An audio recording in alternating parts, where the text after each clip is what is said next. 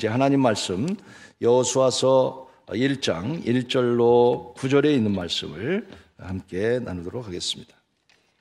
여호와의 종 모세가 죽은 후에 여호와께서 모세의 수종자 눈의 아들 여호수아에게 말씀하여 이르시되 내 종 모세가 죽었으니 이제 너는 이 모든 백성과 더불어 일어나 이 요단을 건너 내가 그들 곧 이스라엘 자손에게 주는 그 땅으로 가라. 내가 모세에게 말한 바와 같이 너의 발바닥으로 밟는 곳은 모두 내가 너에게 주었노니 곧 광야에서 이 레바논에서부터 큰 강 곧 유브라데 강까지 해쪽 속에 온 땅과 또 해지는 쪽 대해까지 너희의 영토가 되리라. 내 평생에 너를 등이 대적할 자가 없으리니 내가 모세와 함께 있었던 것 같이 너와 함께 있을 것임이라. 내가 너를 떠나지 아니하며 버리지 아니하리니 강하고 담대하라. 너는 내가 그들의 조상에게 맹세하여 그들에게 주리라 한 땅을 이 백성에게 차지하게 하리라. 오직 강하고 극히 담대하여 나의 종 모세가 내게 명령한 그 율법을 다 지켜 행하고 우러나 자로나 치우치지 말라. 그리하면 어디로 가든지 형통하리니 이 율법책을 내 입에서 떠나지 말게 하며 주야로 그것을 묵상하여 그 안에 기록된 대로 다 지켜 행하라. 그리하면 내 길이 평탄하게 될 것이며 내가 형통하리라. 내가 내게 명령한 것이 아니냐. 강하고 담대하라. 두려워하지 말라. 놀라지 말라. 내가 어디로 가든지 내 하나님 여호와가 너와 함께 하느니라 하시니라. 아멘. 오늘 본문 말씀은 어, 여호수아에게 여호수아가 가장 절망적일 때, 두려울 때 하나님께서 나타나셔서 모세가 죽고 난 후에 다시 여호수아에게 하신 말씀이에요. 이 말씀이 여호수아는 큰 힘이 됐어요. 그래서 새롭게 출발을 합니다. 저는 오늘 이 본문 말씀이 여러분에게도 큰 힘이 되기를 축복합니다. 그래서 오늘과 같이 힘들고 어려운 시대지만 오늘 말씀이 큰 힘이 돼서 다시 새롭게 출발하는 기회가 됐으면 좋겠다는 생각을 갖습니다. 당연히 모세가 죽으니까 백성들도 절망할 뿐만 아니라 특별히 모세의 뒤를 이었던 여호수아는 두렵지 않을 수가 없었습니다. 어떻게 이 광야에서 이들을 인도해 갈 건가? 두렵고 걱정되는 여호수아에게 하나님이 나타나셔서 하시는 말씀입니다.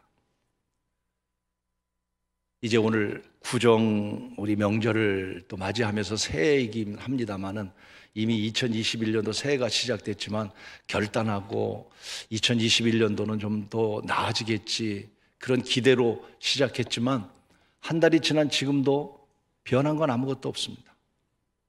환경이 바뀌어진 거 아무것도 없습니다.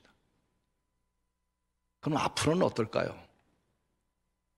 낮을 것이다 우리가 기대하지만 도리어 더 위험해질 가능성이 많을 뿐만 아니라 저는 분명한 사실이 있습니다. 이 위기는 분명히 지나갑니다. 그러나 위기 후에 이보다 더 큰 일들이 분명히 있을 것이라고 저는 생각합니다. 왜냐하면 성경이 말했기 때문입니다. 그럼 이런 위기를 만날 때마다 우리는 어떻게 해야 될까? 오늘 다시 이 말씀을 붙들고 여호수아가 다시 새롭게 새 출발하며 결단한 것처럼 이미 한 해는 시작했지만 특별히 오늘 명절 구정을 맞이해서 또 새로운 새해를 맞이하면서 오늘 우리 신년교 성도들이 새로운 마음과 새로운 결단 속에 새로운 출발의 말씀이 되기를 주의 이름으로 축원합니다. 그 새로운 새 출발의 첫째 메시지가 뭐냐면 2절에 이렇게 말씀하셨어요. 너는 따라하십시다. 너는 일어나라. 하는 거예요. 오늘 일어나시기를 바랍니다. 일어나라니까요. 왜 앉아 계세요? 일어나자고요. 물론 자리에서 일어나자고 하는 그런 뜻보다는 그렇습니다, 여러분. 좌절하고 또 힘들고 말할 수 없는 어려움 속에 있는 분들도 있을 겁니다. 그러나 오늘 다시 오늘 이 말씀 앞에 새롭게 출발하는 마음을 가지고 우리 다 함께 일어나시기를 축복합니다. 우리 옆 사람에게 일어나십시다. 이렇게 하면 거예요. 일어났어요. 일어났으면 좋겠어. 일어났으면 좋겠어. 음. 우리 다 일어나자고요. 모세가 죽고 난 다음에 여수와도 마찬가지였습니다. 지금 우리의 심정과 거의 비슷했을 겁니다. 아무것도 할 수가 없었어요. 여수와만이 아닙니다. 이스라엘 백성 모두가 마찬가지였습니다. 왜? 모세가 한 역할이 너무나 컸기 때문에. 모세를 잃고 나니까 그제서야 모세가 얼마나 소중한 존재라는 걸 알고 여러분 신명기 34장에 보면요. 모세가 죽고 난 다음에 며칠 동안 장례를 치른지 아세요? 30일 동안 장례를 치렀습니다. 30일 동안 울었다고 그랬습니다. 그 당시 일반 장례는 그렇지 않았습니다. 여러분 3일이 아니에요. 모세가 죽고 나니까 그들은 너무 좌절한 거예요. 절망한 거예요. 할 수 있는 게 아무것도 없었어요. 광야에서 이제 우리는 죽는구나. 느보산에서 그 멀리 가나안 땅을 바라보면서 우리가 어떻게 저길 들어갈까? 그리고 절망하고 앉아서 30일 동안 울고 있는 거예요. 울고 있는 그들에게 일어나라! 내가 밟는 땅을 내게 주리라고 말씀하시는 거예요. 오늘 여러분, 우리도 일어날 수 있기를 간절히 원합니다. 질병으로부터 일어나세요. 낙심하는 곳에서부터 일어나세요. 불신앙적인 신앙에서 일어나세요. 일어나자고요.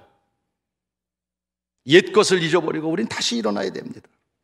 고린도 후서 5장 17절에 그런즉 누구든지 그리스도 안에 있으면 새로운 피조물이라 이전 것은 지나갔으니 보라 새 것이 되었도다. 이전 것은 지나갔으니 여러분 이전 것에 너무 얽매이지 말고 이전 것을 잊어버리고 지난 1년을 잃어버리고 실패했던 걸 잃어버리고 불충했던 걸 잃어버리고 다시 우리 새 것을 바라보면서 새롭게 한번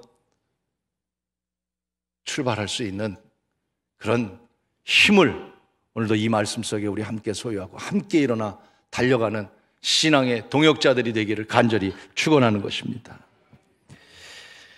엘리야가 바알을 섬기는 아방과 갈멜산에서 대결을 해서 그 바알을 섬기는 자들을 다 무찔러 버려요. 영적으로 승리를 했어요. 그런데 아방의 아내인 이세벨이 화가 났어요. 내가 섬기는 바알 신을 섬기는 자들을 다 죽였다고 하는 이 사실 앞에 이세벨이 군사를 이끌고 엘리야를 쳐 죽이러 쫓아옵니다. 엘리야는 힘이 없었어요. 아무도 없었어요. 그래서 혼자 외롭게 도망가기 시작했어요. 여러분 얼마나 비참했겠습니까? 광야로 막 도망갔어요. 그래서 로뎀나무 아래서 하나님 앞에 나를 죽여주십시오. 이게 뭡니까? 정말 좌절감에 빠졌습니다. 오늘 어쩌면 우리들도 이런 좌절감 속에 빠지게 될 때가 너무 많습니다. 하나님, 교회가 이게 뭡니까? 신앙이 뭡니까? 어떻게 신앙생활 해야 되는 겁니까? 우리가 로뎀나무 아래서 절망해 있는 엘리야와 같이 우리도 절망할 수밖에 없는 오늘 우리의 현실입니다. 그런데 여러분, 그 로뎀나무 아래서 죽기를 구하던 엘리야가 하나님이 환상 가운데 나타나셔서 머리맡에 구운 떡과 물 한 병을 주면서 일어나라.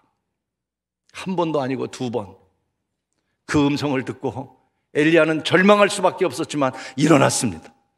40주야를, 여러분 40일을 달려가기 시작했습니다. 저는 이번 사순절 기간 여러분 달려갈 수 있는 기회가 되기를 축복합니다. 다시 우리 신앙이 달려가자고요. 일어나자고요. 그래서 달려갔더니 거기서 하나님의 음성이 들립니다. 바알에게 무릎 꿇지 않는 자가 7천이나 있더라. 할렐루야. 어딘가 여러분 바알에게 무릎 꿇지 않은 7천의 신앙인들이 있을 것이라고 믿습니다. 분명히 남은 자들이 있을 것입니다. 그래서 엘리야는 다시 힘으로도 주의 사역을 감당한 것을 보게 됩니다. 힘들고 어려운 일들이 너무 많습니다.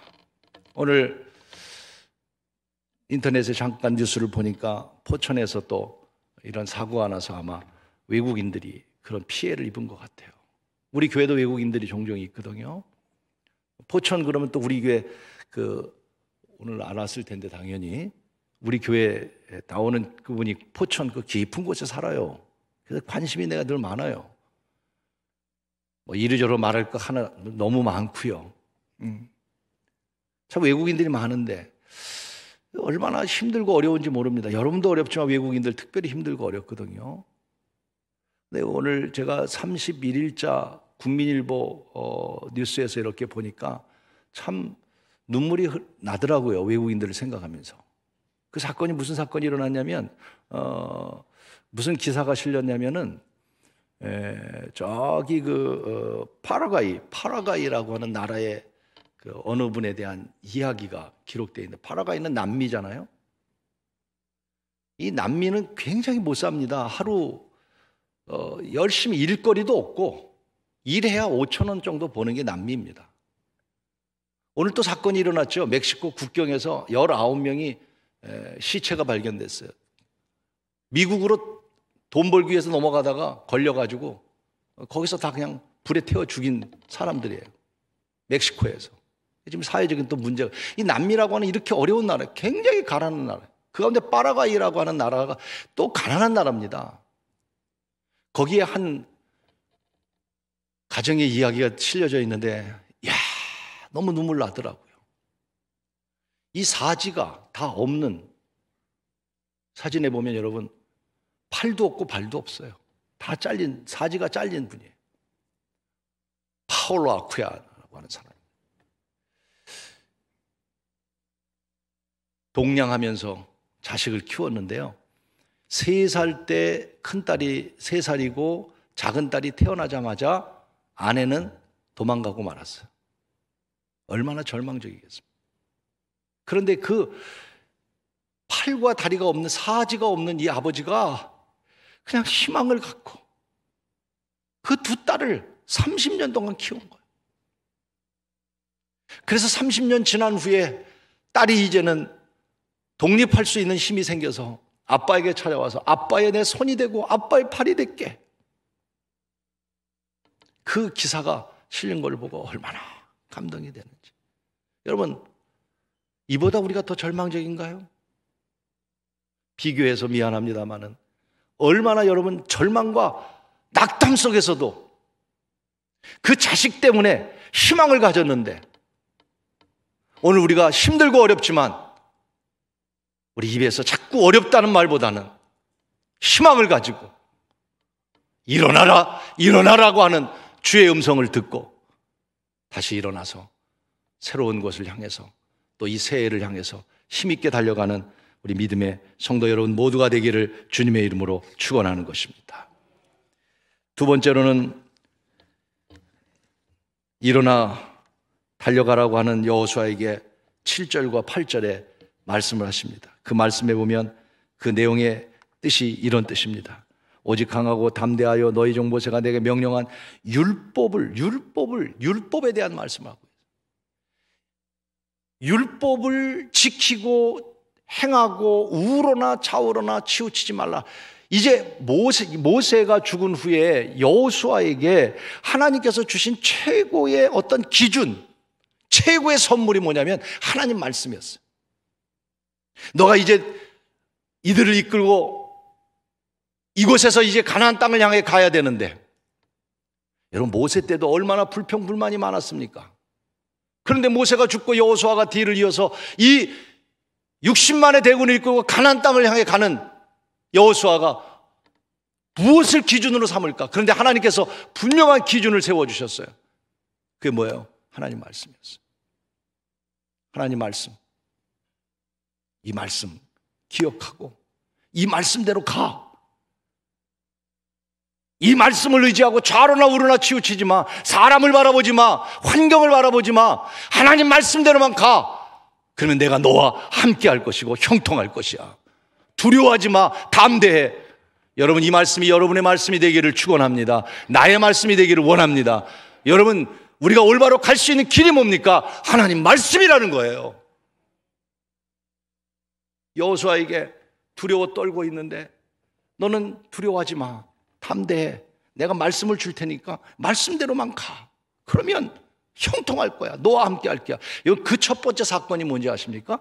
여리고성 사건입니다. 모세가 느보산에서 죽었어요. 그 느보산은 높은 이 모압 지방의 땅입니다. 모압 지방 땅 이 느보산에서 바라다 보면요. 요단강이 보이고 여리고가 이렇게 보입니다. 날씨 좋은 날은 저 예루살렘까지 보입니다. 그러니 지금 여, 여호수아가 이, 이, 저 가나안 땅을 향해 가야 되는데 거기 보이는 여리고가 굉장한 성인데 그 성을 지나가야만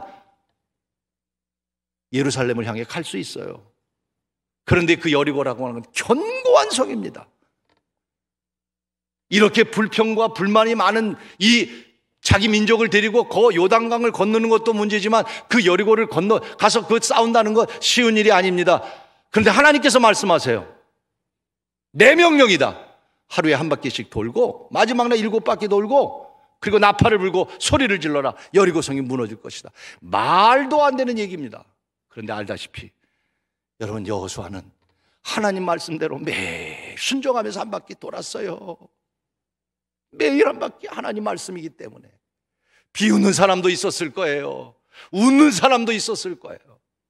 그러나 하나님 말씀이기에 매일 한 바퀴씩 돌고 마지막 날 일곱 바퀴를 돌고 나팔을 보고 소리를 지를 때 여러분 여리고성이 무너져 내렸던 사실이에요. 어떻게 무너뜨렸습니까? 힘입니까? 지혜입니까? 능력입니까? 군사입니까? 아닙니다. 하나님 말씀대로 하니까 됐던 것이었어요. 과연 이 난국을, 이 어려움을 우리는 어떻게 이겨갈 수 있겠습니까? 무엇이 기준입니까? 어떤 교회가 기준이고, 어떤 법이 기준이며, 어떤 목사님이 옳은 말이며, 여러분, 여러분의 생각으로 판단하지 마세요. 우리는 다른 방법 없어요. 오늘도 주신 하나님 말씀대로 완전하게 우리는 살아갈 수는 없지만 하나님 말씀에 순종하고 좌우로 흔들릴 수밖에 없는 우리들이지만 그러나 하나님 말씀대로 살려고 발부둥 치는 것만이 여러분 살 길임을 믿고 하나님 말씀 중심으로 이 한 해를 살아가는 여러분이 되기를 또 여러분 생애에 하나님 말씀이 중심이 되기를 주님의 이름으로 축원하는 것입니다. 하나님이 뭐라고 말씀하셨는가? 하나님의 뜻이 무엇인가? 그걸 자꾸 따라가는 거예요. 사람의 말에 귀를 기울이지 마세요. 아는 사람의 말에 귀를 기울이지 마세요. 하나님이 뭐라고 말씀하실까? 하나님은 뭐라고 말씀하셨나? 내가 어떻게 하면 하나님의 뜻대로 살까? 워싱턴에 가면 박물관이 많아요. 아주 참, 뭐 자연 박물관, 우주 박물관, 그 가운데 근래에 생긴 박물관, 뭐 좀 몇 년 됐습니다마는 성경 방, 성서 박물관이 생겼어요. 저도 여기 오고 난 다음에 생겼기 때문에 가보지는 못했어요. 근데 그 성서 박물관 안에 너무 잘 해놨다. 개인이, 어, 크리스천이 에, 자기 돈을 투자해서 엄청난 돈을 투자해서 그걸 만들어 놨다고 그래요. 근데 그 안에 성경 가운데 많은 역사적인 성경들이 있는데 그 가운데 유난히 특이한 성경이 하나 있다고 합니다. 그 성경을 우리말로 번역하면 한마디로 말하면 노예 성경이라는 성경책입니다. 겉으로는 Holy Bible 성경이라고 썼고 이건 1800년도에 영국에서 발견된 성경책인데 말입니다. 1800년 되면 영국에 노예 제도가 있었을 때예요. 그때 나온 성경입니다. 근데 그 성경의 내용을 보면 어떤 일이 있냐면 성경의 창세기 다음에 여러분 뭐죠? 출애굽기잖아요. 근데 출애굽기의 앞에 부분이 삭제되고 출애굽기 뒷부분부터 성경이 엮어진 책입니다. 왜 여러분 출애굽기 앞부분을 빼놨을까요? 출애굽기 앞부분은 이스라엘 백성이 애굽에서 종살이 할 때 쉽게 얘기하면 종살이 하다가 거기서 어 풀러 나온 그 이야기잖아요. 그러니까 그 당시 영국의 귀족들이 종들을 자기 집에 종들을 세우면서 키워가다가 혹시 성경을 읽다가 저항을 하고 폭동을 일으킬까봐 성경의 출애굽기 앞부분을 싹 빼버리고 이게 성경이라고 하나님 말씀이라고 가리킨 거예요. 신약 성경 가운데에는 에베소서 5장 6장 5절에 여러분 에베소 6장 5절 이런 말씀이에요. 종들아 두려워하고 떨며 성실한 마음으로 육체의 상전에게 순종하기를 그리스도께 하다. 이 부분은요, 밑줄을 거 가지고 종들로 하여금 더 보게 만드는 거예요. 여러분, 성경을 자기 마음대로, 자기 편한 대로 악용한 거죠. 좋은 일입니까? 나쁜 일입니까? 정말 나쁜 일이죠. 여러분, 이 사건이 지금 2021년도에 여러분에게는 없다고 생각하십니까? 나에게는 없습니까? 여러분, 하나님의 말씀을 들으면서 정말 하나님의 말씀에 좋은 것만 나는 그 말씀만 가지고 살아가지는 않습니까? 나에게 책망하는 말씀, 나를 깨닫게 하는 말씀, 그 말씀은 외면하고 있지는 않습니까? 아닙니다. 우리는 여기 66권의 하나님의 말씀 좌우로 치우치지 말고 하나님 말씀 속에서 하나님의 말씀의 뜻을 따라 살아간다면 살아가야 하고 하나님 말씀이 여러분 삶의 중심이 되며 살아갈 수 있는 한 해가 되기를 간절히 축원하는 것입니다. 그러기 위해서는 하나님 말씀을 깨닫고 알아야 되고 보아야 합니다. 알아야 합니다. 여러분 성경 말씀을 읽어야 하고 말씀이 삶의 중심이 되어야 합니다. 오늘 1장 8절 말씀 보세요. 1장 8절. 여러분 같이 한번 1장 8절을 읽어 보십시다. 1장 8절. 시작. 이 율법 책을 내 입에서 떠나지 말게 하며 주야로 그것을 묵상하여 그 안에 기록한 대로 다 지켜 행하라. 그리하면 내 길이 평탄하게 될 것이요 내가 형통하리라. 여러분 정말 평탄하고 형통하기를 원한다면 하나님 말씀을 내 입에서 떠나지 않게 하고 날마다 묵상하고 그 말씀을 지켜 행하면 우리가 그 말씀대로 살 수는 없지만 몸부림치면서 살면 하나님께서 말씀 가운데 우리를 형통케 하시려는 약속을 믿습니다. 믿으셔야 합니다. 우리 연예인 가운데 조혜련 씨 여러분 잘 아실 거예요. 에, 좀 여자분이지만 막 아주 와일드 하시더라고요. 또 파란만장한 삶을 사셨더라고. 근데 저분이 예수님 믿은 지 몇 년 안 돼요. 제가 알기로는 한 6, 7년 됐고 또 요 근래에 어머니도 전도해서 어, 예수님 믿고 거듭난 삶을 살아요. 그런데 저분이 지금 제일 많이 하는 게 뭐냐면 말씀 읽기 운동을 하는데 예수 믿은 지 6년밖에 안 됐는데 성경을 20번 이상을 읽었다고 합니다. 예수 믿은 지 6년도 안 됐는데. 지금도 성경 말씀 읽기 운동을 얼마나 많이 다니면서 전하는지 몰라요. 그러면서 이분이 하는 얘기는 하나님 말씀을 읽는 것만이 우리가 변화될 수 있고 새로워질 수 있다는 거예요. 여러분 우리 부끄럽지 않아요? 예수 믿은 지 수년이 됐는데도 성경 한번 제대로 읽지 못하고 우리가 여러분 목사고 우리가 직분자입니까? 읽어도 그저 좋은 말씀 몇 군데 아는 것 그것으로 우리의 삶을 맡기고 하나님께 가는 인생입니까?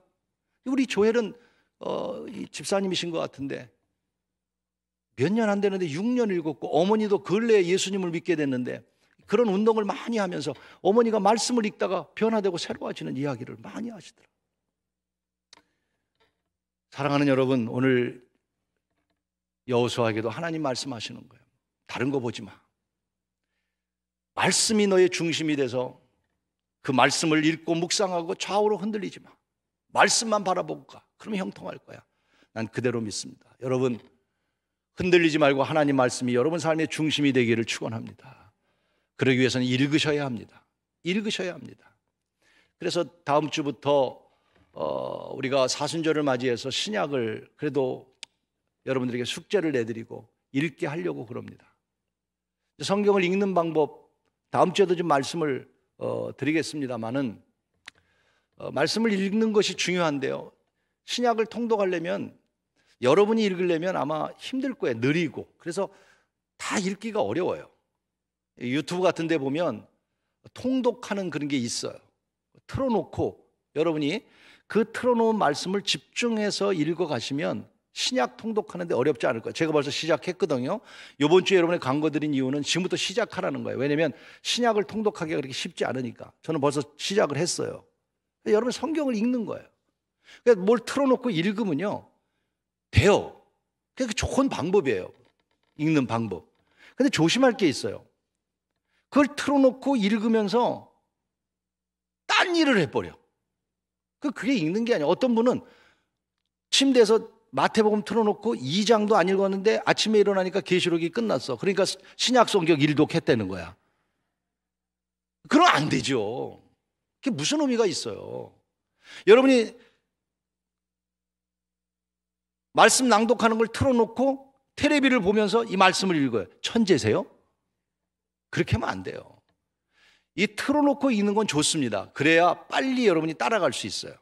그러나 정말 집중하고 마음에 묵상하고 더 중요한 것은 그 말씀대로 우리가 완전하게 살 수는 없지만 정말 여러분 하나님 말씀대로 살려고 노력하면 약속이잖아요. 하나님이 함께 하셔서 형통케 하실 줄로 믿습니다.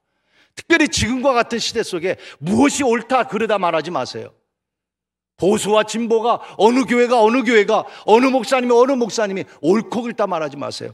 하나님 말씀이 중심이 돼서 말씀대로 갈 수 있는 귀한 새로운 출발이 되기를 간절히 축원하는 것입니다.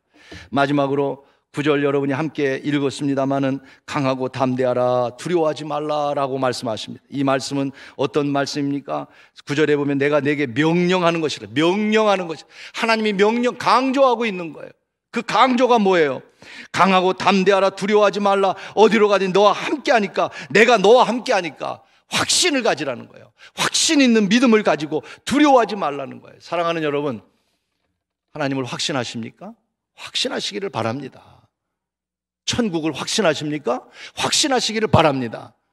하나님의 심판을 확신하십니까? 분명히 있다는 사실을 확신하시기 바랍니다. 여호수아는 하나님이 나와 함께 한다는 확신을 갖는 말씀이 되었던 것입니다.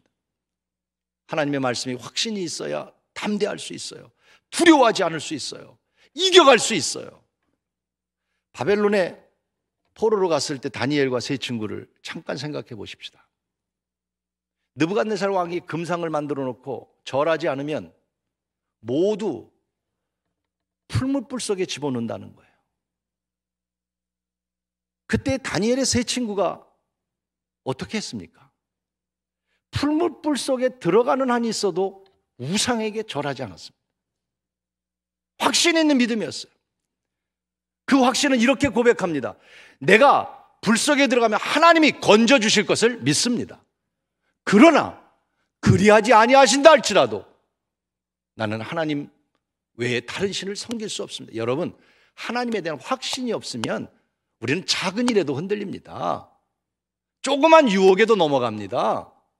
조금만 힘들어도 무너집니다. 그러나 하나님이 함께 하신다는 확신을 가지면 어떠한 환경 속에서라도 우리는 강하고 담대할 수가 있습니다. 바로 그 강하고 담대함이 하나님을 신뢰하는 확신 속에서 여러분 가득 차서 이 어려움과 위기 속에 있지만 확신을 갖고 이겨가는 여러분이 되기를 주님의 이름으로 축원하는 것입니다. 긍정의 힘이라고 하는 책을 쓴 조엘 오스틴이라고 하는 미국의 유명한 목사님이 계신데 그 어머니가 간암에 걸리셨어요. 그래서 가난 말기가 돼서 병원에서 이제는 사형 선고를 받고 퇴원을 합니다. 희망이 없어요. 신앙을 가졌던 오스텔 목사님의 어머니는 집으로 돌아와서 그저 기도하고 하나님 앞에 맡기고 이제 죽음을 기다립니다. 왠지 성경을 찾고 싶었습니다. 성경 가운데 힘이 되는 말씀들, 병자를 고치는 말씀들, 귀신을 쫓아내는 말씀들, 40개를 찾아냈어요. 40개의 성경을 찾아서 매일같이 그 말씀을 묵상합니다. 이제 죽음을 기다리면서 천국을 기다리면서 마지막 죽음 앞에서 이 오스텔 목사님의 어머니는 마지막 그 죽음 속에서도 하나님의 말씀을 붙들고 선포하기 시작했습니다. 주신 약속의 40개의 말씀을 암송하고 선포하고 여러분 놀랍게도 그 어머니는 20년을 더 살 수 있는 기적이 그의 삶 가운데 일어났습니다. 하나님은 살아계십니다. 하나님은 죽은 자도 살리십니다. 근데 더 무서운 것이 뭔지 아세요? 산 자도 죽이십니다. 오늘 우리가 살아있으나 하나님을 경외하고 하나님의 뜻에 떠나면 하나님은 죽은 자도 살리시지만 산 자도 죽이시는 무서운 하나님이시죠. 그러기에 오늘 우리는 다시 우리가 신뢰하는 그 하나님을 믿고 신뢰하고 그 하나님을 경외하고 그 하나님을 높이며 오늘 이 한 해를 새롭게 출발해가는 온 성도들이 되기를 주의 이름으로 축원하는 것입니다. 오늘 이 시대를 삼불의 시대라고 그래. 세 가지 불자를 합쳐서 삼불 시대. 첫째, 불신의 시대라. 불신. 믿질 않아요. 누가 뭐라고 얘기해도 믿질 않아요. 정말 다 불신하는 세상이 됐습니다. 교회도 믿지 않은 지 오래됐어요. 사람들이 교회를 믿지 않아요. 정부를 믿지 않아요.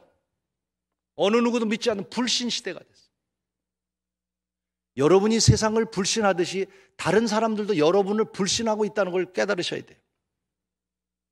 두 번째가 뭐냐면 두 번째 불만 시대.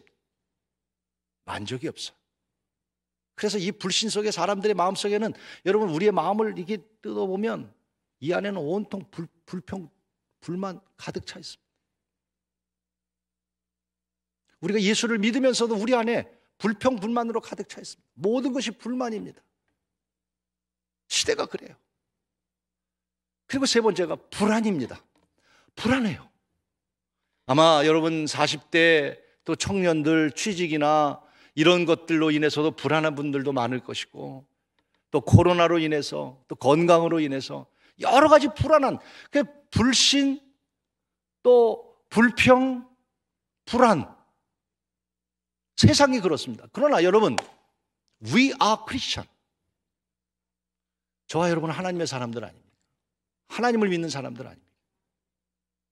세상이 불신과 불만과 불안이 있다 할지라도 우리 하나님의 사람들은 하나님을 신뢰하고 더 사랑하고 더 인내하고 더 믿음으로 신뢰하면서 살아갈 수 있는 삶이 되기를 주님의 이름으로 축원하는 것입니다. 이스라엘 박물관에 가면 이런 글자가 새겨져 있습니다. 거기에 뭐라고 써 있냐면 이렇게 써 있어요. Remember the past. 과거를 기억하라. 과거를 기억하라. 유대 민족만큼 과거에 고통을 당한 민족이 어디 있습니까? 대학살을 당하고 자그만 땅에서. 그러나 그들은 remember the past 과거를 기억하라는. 여러분 유대인들의 특징은요 과거는 용서하지만 잊어먹질 않아 말라고 얘기를 합니다. 과거에 우리가 학살당했던 것 다 용서해라. 그러나 잊지는 말아라. 근데 우리는요 어떻게 되냐면 일제시대에 대해서 이런 생각을 갖고 있다고 전 조금 조심스럽게 생각해 봐요. 과거에 대해서 용서는 못하고 잊어버렸다는 거예요. 우린 반대로. 우리가 예를 들면 일본 그러면 왠지 모르게 싫어. 그게 뭐예요? 용서 못했다는 거죠. 그런데 여러분, 일제시대의 그 고통을 다 잊어버렸어요, 사람들. 젊은이들이 왜 일제시대가 있는지, 6.25가 있는지, remember! 기억하지 못해요. 여러분, 과거는 지나간 일들 때문에 오늘의 현실이 불행해지지 않는 여러분이 되기를 주의 이름으로 축원합니다. 나도 모르게 우리 과거에 얽매여 살게 됩니다. 과거에 용서하세요. 그러나 과거의 그 일들을 기억하면서 교훈 삼으세요. 그 다음에 두 번째 이렇게 얘기했습니다. Live the present. 지금 시대를, 현재를 의식하고 살아라. 여러분, 현재가 중요하다는 거예요. 지금.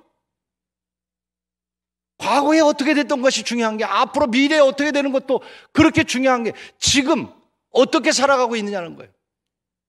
지금 기도하고 있냐는 거예요. 지금 하나님 앞에 충성하고 있냐는 거예요. 지금 하나님 말씀 읽고 있느냐는 거예요. 지금 믿음 생활 잘하고 있느냐는 거예요. 내일이 중요한 게 아니고, 과거가 중요한 게 아니고, now! 지금! 그리고 마지막 이렇게 얘기했어요. 마지막에 trust future. 미래를 신뢰하고 살아라.